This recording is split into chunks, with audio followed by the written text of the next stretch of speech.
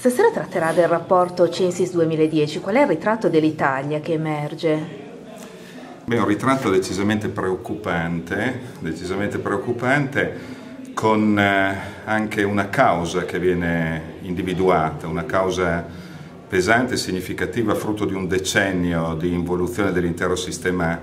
economico mondiale e cioè che davvero, come viene sintetizzato, il problema vero è proprio quello di un capitalismo ormai alla deriva che eh, sostanzialmente satura di offerte eh, le persone, le famiglie, le società e di conseguenza eh, crea quella suefazione, come dice appunto l'indagine, che non dà più desiderio. Quindi la denuncia vera è proprio questa, una carenza fondamentale di desiderio, quindi di volontà di di ripresa, una sorta di assuefazione, di, eh,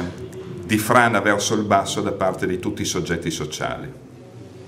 Quali sono secondo lei le vie di uscita?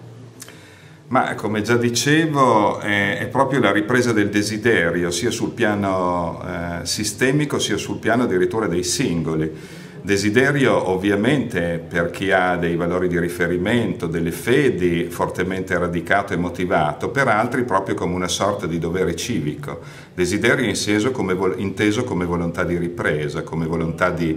eh, di rimettersi insieme, di fare sistema, diciamo le peculiarità del nostro paese che in passato gli avevano consentito di avere forti, dei forti momenti di eh, di successo, quindi anche sul piano economico, di boom, oggi devono essere assolutamente riprese perché non hanno più il vigore di prima.